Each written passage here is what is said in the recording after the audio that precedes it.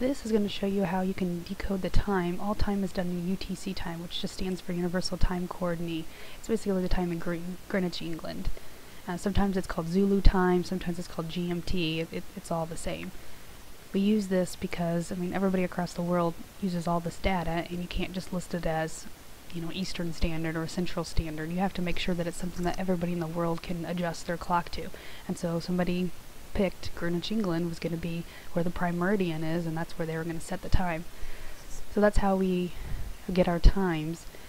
Um, it's also based off the military time clock, and so I have shown here the military clock if you're not familiar with it. Basically, it's just a 24 hour clock. So instead of going from noon to 1 p.m., it'll go from noon, it'll go 13, 14, 15, 16, and all the way across to the, to the 24 hour, which is midnight. And when you're doing this, we are right now because we're in Central Standard Time. We are six hours from UTC, the Greenwich England time. So if you take the 12 UTC, you subtract the 6, you get 6 a.m. Well, 600 or 6 a.m. is the a.m. portion of the military clock. To give you an idea of using the other side, the 13, 14, 15 side, if you take 20 UTC and you subtract 6, and you get 1400, which that is in military time. And then if you look on the clock for the military clock, it's actually 2 p.m. That's Central Standard Time. Now, during the semester, we are going to end up switching to daylight in just a couple months, actually. So you'll have to end up subtracting 5. So right now we're 6, and then in a couple months we'll be 5 hours from Greenwich, England.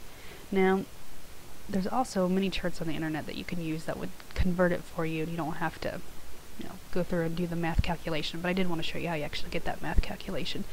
Here's one for standard time, and then here's one for daylight. I'll post this on Blackboard as well, but you can just go across here, find the GMT, which is also, remember, the UTC or the Zulu time, and then go across to Central Standard, and then you'll be able to find out what time it is that way.